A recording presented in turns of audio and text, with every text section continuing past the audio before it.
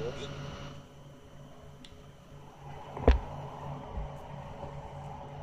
幕からフルイング出場を続ける新人が巧みなバットコントロールを見せると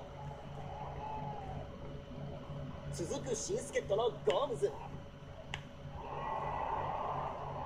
得点力リーグトップの楽天今シーズン早くも2度目となる17安打の猛攻を見せ梨田監督の通算650勝に花を添えました